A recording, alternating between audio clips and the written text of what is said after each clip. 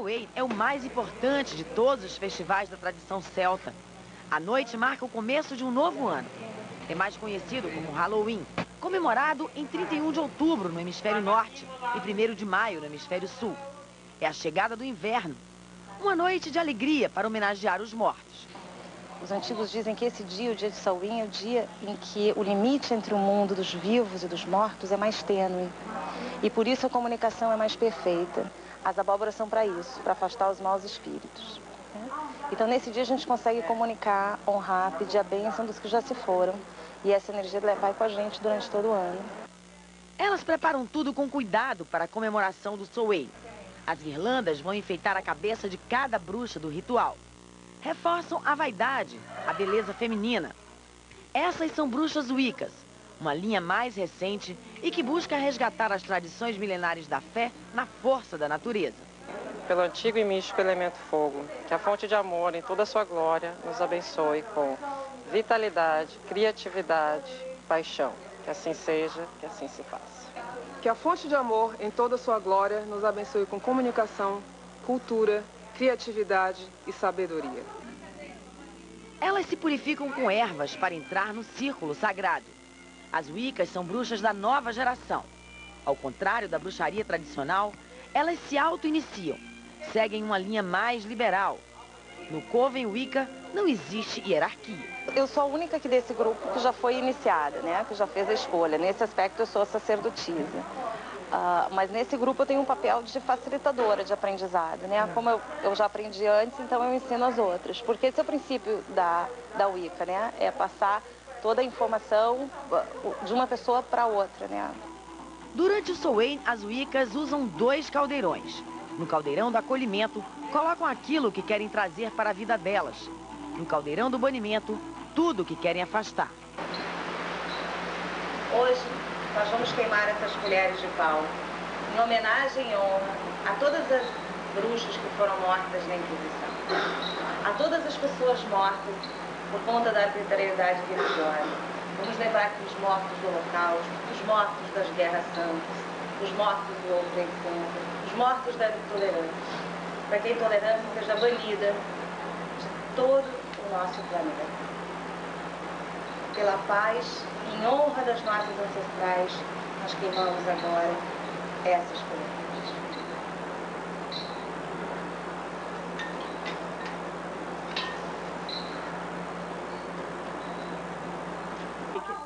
Aquele caldeirão a gente colocou os desejos que a gente queria banir da nossa vida, né? Todas as dificuldades e tal. Então foram queimados junto com as colheres da Inquisição.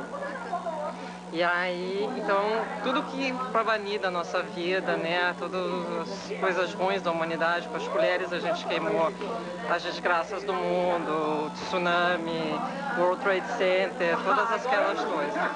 E no Renascimento a gente plantou os desejos, né? Porque é o nosso ano novo. Então, no ano novo, o ciclo fechou. Então agora está começando é, o novo plantio para uma futura colheita. Então a gente colheu a última vez, né? Agora vamos replantar e começar o ciclo novamente. O ritual leva mais ou menos uma hora.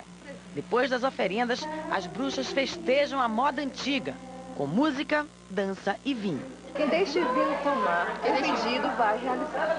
Bem bacana. Vocês duas estão fazendo? Estamos fazendo uma partilha do vinho e o encantamento de realização. O que, que significa isso? Traduz para mim. O encantamento você faz em forma de rima um desejo que você quer realizar. Então a gente diz, quem deixa de vinho tomar, um desejo vai realizar. Oba, será? E o que, que eu tenho que pensar? Tem que fazer o pedido e meu, meu desejo vai acontecer? Aí a partilha reporta. Então deixa eu pensar. Eu não trabalho no lugar só, vem de um lugar, vou pro outro, vou pro outro. E aí eu fico catando. Quanto tempo aí o meu desejo? Você que determina. Então é pra já. Se é desejo, é pra já, né não? Na verdade, tudo é uma questão de concentração. Assim. Você é capaz, qualquer um é capaz de realizar aquilo que deseja. Só que a gente cria mecanismo para isso. Né? E qual seria esse mecanismo? Como é que funciona? Concentração, poder, né? Fé. Fé. Na verdade, é uma coisa assim que quando você começa a estudar, que você começa a trabalhar energia, aí você se descobre bruxa, né? Que há muito tempo você já vinha, tô usando um chá para uma cura, é, já ia botando energia, muita, muita energia, muito desejo numa coisa para conseguir. Tudo isso é ser bruxa. E onde é que está o poder da bruxa? No, na fé. Sejam da linha moderna ou da linha mais tradicional, as bruxas compartilham da mesma crença no princípio do Deus e da deusa. Buscam alcançar o divino, acreditam na reencarnação e no poder feminino. Eu acho que toda mulher tem um pouco, né, de bruxa. Acredito. Por que, você acredita aí?